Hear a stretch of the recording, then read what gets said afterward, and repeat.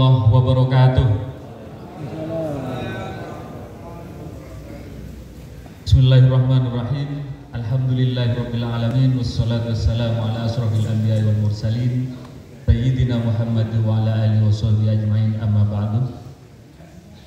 Yang kami hormati Bapak Bupati Pamekasan Kiai Haji Badrut Tamam Sarjana Psikologi. Yang kami hormati Wakil Bupati Pamekasan terpilih Bapak Dr. Fatah Yasin. Yang kami hormati Profesor Dr. Kiai Haji Asep Saifuddin Halim, guru kita, inspirator kita dan inspirator seluruh masyarakat khususnya santri di Indonesia. Yang kami hormati Bapak Profesor Dr. Haji Dahlan Iskan, beliau ini orang hebat dan banyak melahirkan orang hebat di Indonesia. Yang kami hormati juga beliau ini juga profesor, Profesor Kiai Haji Zawawi Imron, Beliau adalah budayawan Madura, kebanggaan Madura dan kebanggaan Indonesia. Alhamdulillah, puji syukur karena hingga siang hari ini peserta masih tidak beranjak dari kursinya masing-masing. Itu menandakan bahwa para pembicara yang hadir di depan ini yang akan mengisi kita adalah orang-orang inspiratif yang akan memberikan inspirasi bagi kita. Dan tak lupa Orang yang bisa mengajak semua itu datang kemari adalah sosok muda namanya Muhammad Ismail Adnan. Beliau adalah penulis buku eh, Perjalanan Kiai Asep, Inspirasi dan Perjuangan Kiai Asep Saifuddin. Kepada para narasumber kami undang satu persatu karena uh, ini akan ada sesi yang menarik bagi kita semua. Narasumber pertama kami undang Bapak Profesor Dahlan Iskan. Beliau ini adalah mantan Menteri BUMN, banyak sekali terobosan. Yang sangat bisa kita nikmati adalah tentang perkereta apian. Inovasinya luar biasa.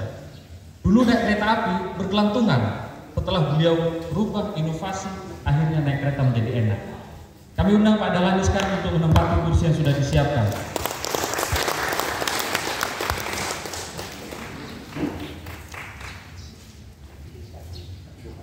itu putrinya ya Oke.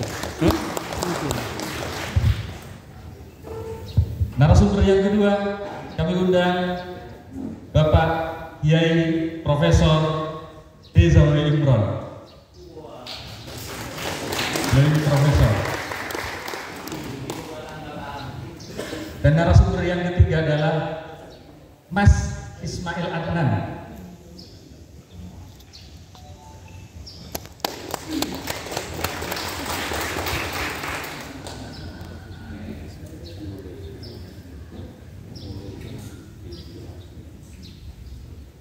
yang kita tunggu-tunggu, orang yang sangat menginspirasi bagi kita adalah Bapak Profesor Dr. Kiai Haji Asep Saifuddin Halim. Kami haturkan.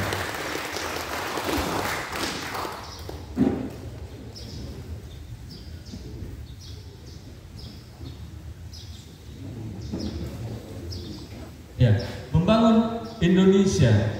Kalau bahasanya Pak Dahlan ini, Kiai Asep sangat menarik dalam rangka membangun Indonesia banyak sekali julukan yang dinisbatkan kepada beliau. Ada kiai profesor dan lain semacamnya. Dan cara-cara beliau kata kata Pak Dahlan itu adalah cara-cara yang luar biasa dan tidak biasa. Kiai yang profesor, kiai yang pengusaha, kiai yang bisa menginspirasi banyak orang. Dan mudah-mudahan pada siang hari ini Pak Dahlan juga bisa menjelaskan bagaimana membangun Indonesia dan bagaimana membangun Pamekasan dari Indonesia dari Pamekasan. Kami persilahkan Pak Dahlan untuk memulai.